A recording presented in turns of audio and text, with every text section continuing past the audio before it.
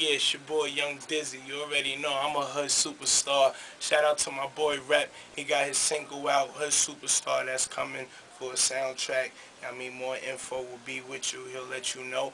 But just to let you know, all everybody I'm around, we hood superstars. We already superstars before the cameras even even knew us. You know what I mean?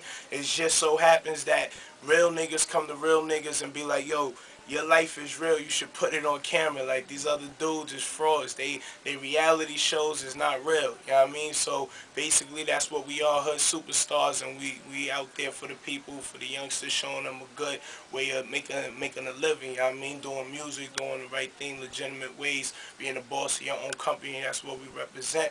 You know what I mean? So your boy Dizzy Rap, that's what we're gonna show y'all for the next years to come. You know what I mean? So fuck with your boy. You heard?